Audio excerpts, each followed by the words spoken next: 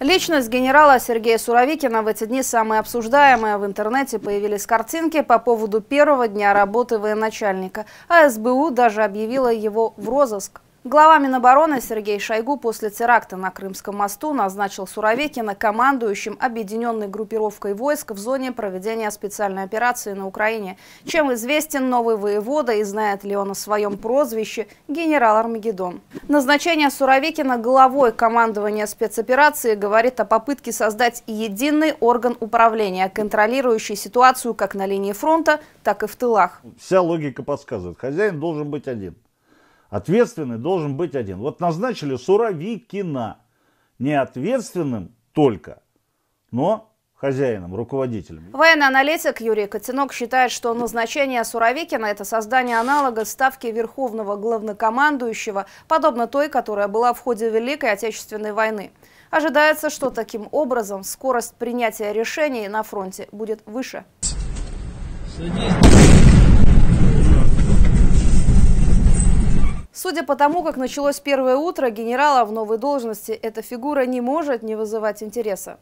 Согласно биографии, Сергей Владимирович Суровекин родился 11 октября в Новосибирске. Сегодня ему исполнилось 56, считается, что он довольно молодой для своей новой должности. В 1987 году он окончил золотой медалью Омское высшее общевойсковое командное училище. С 92 по 97 был участником вооруженного конфликта на территории Таджикистана. В 2000-х воевал во Вторую Чеченскую. С 2004 по 2005 годы командовал 42-й гвардейской мотострелковой дивизией в Чечне. В 2012 руководил рабочей группой Минобороны России по созданию управлению военной полиции. В марте 2017-го возглавил группировку российских войск в Сирии, где сумел переломить ход войны и нанести поражение террористам. Сейчас все условия для выполнения задачи наступательной группировкой войск созданы.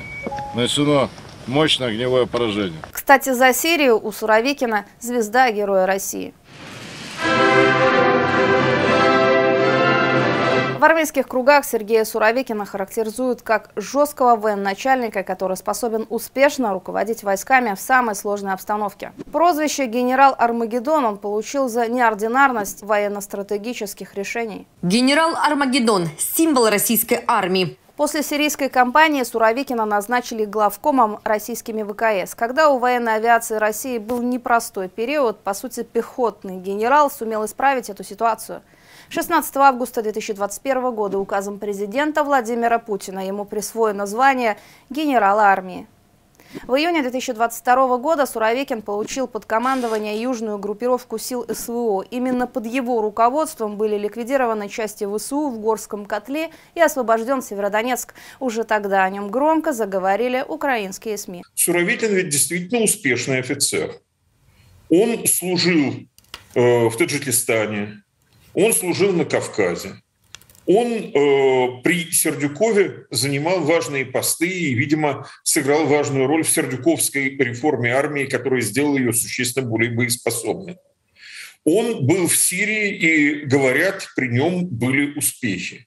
Он, как авиационный командующий, очевидно, умеет применять авиацию во взаимодействии с сухопутными войсками.